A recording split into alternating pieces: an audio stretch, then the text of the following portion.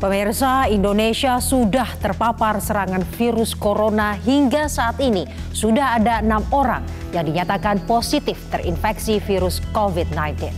Presiden menjamin telah mempersiapkan antisipasi serangan virus corona.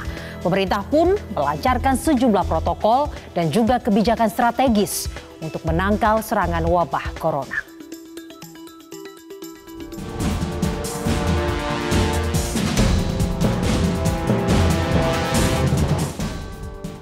Dari hasil pemeriksaan laboratorium kita menambah lagi dua kasus positif.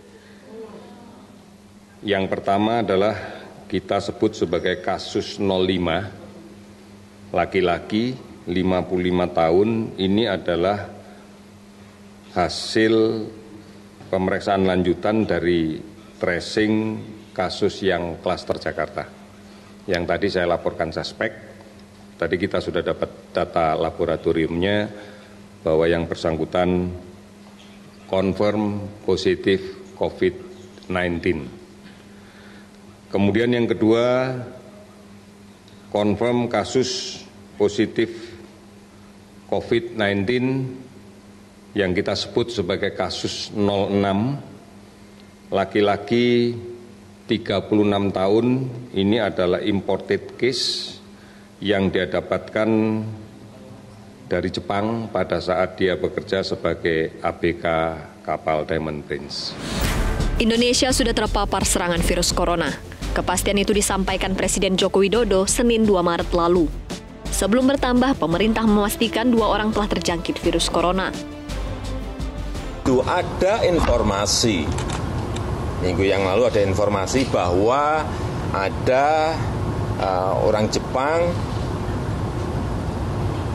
yang ke Indonesia, kemudian tinggal di Malaysia dan dicek di sana ternyata positif corona, tim dari Indonesia langsung menelusuri dan ketemu. Sudah ditemukan, ternyata orang yang telah terkena Eh, virus corona ini berhubungan dengan dua orang. Atas nama kemanusiaan dan menjaga pasien tidak tertekan secara psikologis, Presiden Jokowi meminta agar semua pihak tidak menyebarkan informasi terkait data diri pasien virus corona.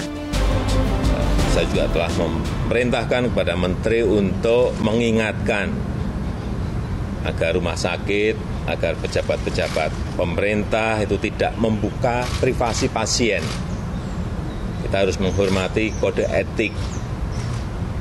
Hak-hak pribadi penderita corona harus dijaga, tidak boleh dikeluarkan ke publik. Saat ini keempat pasien positif corona mendapatkan perawatan medis di Rumah Sakit Sulianti Saroso. Kementerian Kesehatan pun menelusuri rekam jejak perjalanan mereka terdeteksi dalam satu Maret ini kita kita lakukan pemeriksaan penelusurannya sudah dilakukan. Jadi kita begitu dengar berita kita langsung lakukan penelusuran dan kemudian kita langsung lakukan pemisahan karena kan ini kontak langsung. Apa pun yang close kontak selalu kita periksa dengan detail. Sementara itu, 68 dari 69 WNI anak buah kapal Diamond Princess dan 10 kru pendamping dari KRI Dr. Suharso telah dipindahkan ke Pulau Sebaru Kecil Kamis 5 Maret 2020. Ke-68 WNI dari kapal pesiar Diamond Princess itu dipastikan tidak terpapar corona sehingga bisa menjalani observasi di Pulau Sebaru Kecil. Sementara, satu orang WNI tetap berada di KRI Suharso untuk pemeriksaan lanjutan. Kalau disinfektan kemudian ganti baju dan masuk ke ruangan. Setelah masuk ke ruangan nanti kan ada sosialisasi dari tim pendamping. Ini kan alih bina dari tim pendamping KRI, tim kesehatan sana diberikan kepada tim pendamping yang di darat. Ini adalah kali pertama Indonesia memiliki kasus virus corona. Sebelumnya, pemerintah menegaskan Indonesia masih nihil kasus corona. Namun, Presiden menjamin sudah mempersiapkan antisipasi serangan virus corona. Sejak awal pemerintah ini benar-benar mempersiapkan. Persiapan misalnya rumah sakit lebih dari 100 rumah sakit yang siap dengan ruang isolasi mengenai virus corona dengan standar isolasi yang baik. Kita juga memiliki peralatan yang memadai sesuai dengan standar internasional. Pemerintah telah mengambil sejumlah langkah, mulai dari menyiagakan pengecekan kesehatan di 135 pintu masuk negara, 132 rumah sakit rujukan yang dilengkapi dengan fasilitas isolasi, regen pendeteksi corona yang sesuai dengan standar kesehatan internasional. Ada sejumlah protokol yang disusun kementerian dan lembaga terkait dengan penanganan COVID-19, antara lain protokol kesehatan, protokol komunikasi, protokol pendidikan, dan protokol pencegahan delintas batas negara.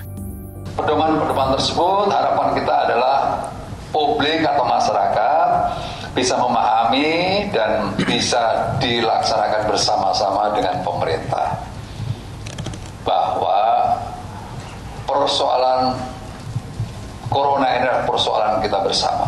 Untuk itu saya mengatakan bahasa Jawa ini digeruduk sama-sama bekerja sama nggak boleh saling menyalahkan, nggak nggak elok lah dalam kondisi kemanusiaan seperti ini saling menyalahkan. Tapi bagaimana kalau ada kekurangan itu saling mengisi? Sementara rumah sakit di sejumlah daerah tengah menangani pasien di ruang isolasi karena memiliki riwayat bepergian ke negara terdampak virus corona.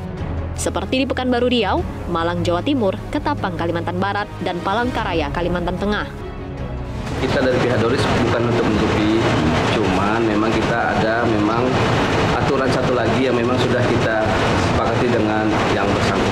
Dok, sampelnya sudah dikirim nggak ke, ke, ke lab, lab Kemenkes sendiri? Sampel lagi proses pengiriman. Selain penanganan di Jakarta, rumah sakit di daerah pun siap menangani pasien terindikasi COVID-19.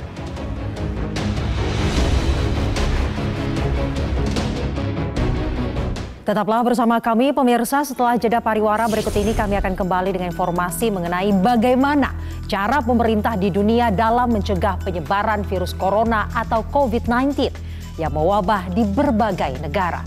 Informasi selengkapnya hanya di Metro This Week.